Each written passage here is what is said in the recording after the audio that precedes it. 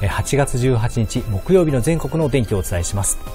明日は北海道の道北から道央にかけては青空が広がりそうです。一方ですね、東北地方は低気圧が接近、通過する影響で雨足が強まる恐れがあります。これまで降った雨の量が多くなっていますので、河川の増水などにも注意をしてください。そして西日本から東日本にかけては前線が南下をしていきます。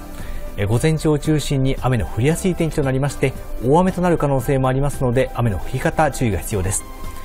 午後の時間帯は天気が回復して次第に晴れ間が戻るところも多くなります。傘の置き忘れに注意をしてください。そして南西諸島方面は次第にですね、青空が広がってきますが、ただ湿った空気の影響で天気が変わりやすくなります。急な雨に注意をしてください。そして明日の気温を見ていきますと、西日本から東日本にかけて極端な暑さはありませんが、30度を超えるところが多くなってきます。また湿度が高く蒸し暑くなりますので、明日もこまめな水分補給など熱中症対策をしっかりと行ってください。以上、明日の天気をお伝えしました。最新の気象情報はウェザーニュースのアプリでも確認いただけます。